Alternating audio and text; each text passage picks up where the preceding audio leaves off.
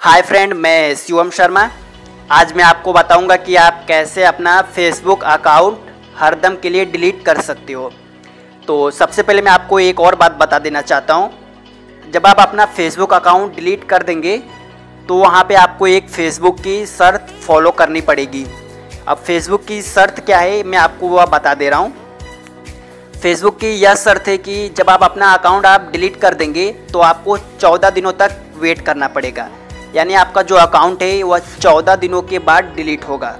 अगर आप बीच में एक भी दिन ओपन करते हो 14 दिनों के अंदर में, तब आपका अकाउंट डिलीट नहीं होगा। इसलिए आपको वेट करना पड़ेगा। 14 दिनों के बाद ही जो करना होगा, कीजिएगा।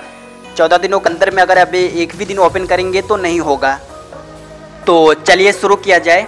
कैसे अकाउंट डिलीट होगा हरदम के लिए फेसबुक की। आपके अगर मोबाइल में क्रोम ब्राउज़र या कोई भी ब्राउज़र हो तो आप उसको ओपन कर लीजिए सबसे पहले। अब आपको यहाँ पे facebook.com सर्च करना पड़ेगा।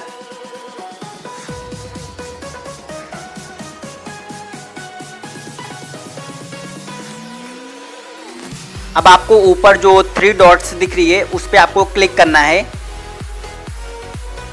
अब आपको थोड़ा नीचे आ जाना है। नीचे आपको हेल्प सेंटर दिखाई देगा। उसमें आपको क्लिक करना है। अब आपको यहाँ पे सर्च करना है। डिलीट माई अकाउंट परमानेंटली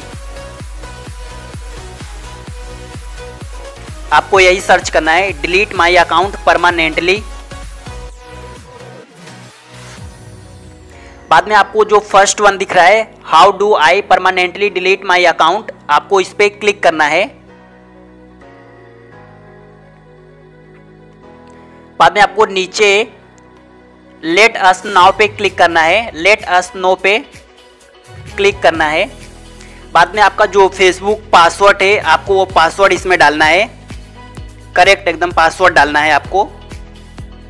बाद में आप पासवर्ड डालने के बाद नीचे सबमिट पे क्लिक कर दो।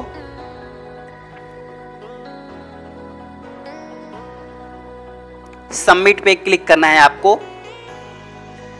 अब आप देख सकते हैं, जो मैंने अभी आपको बताया था, वही फेसबुक की शर्त यहाँ पे आपको फॉलो करनी है। अब आपको वही शर्त फॉलो करनी है जो मैंने आपको बताया वहाँ पे। अब आप वही फॉलो करेंगे तो आपका अकाउंट 14 दिनों के बाद डिलीट हो जाएगा।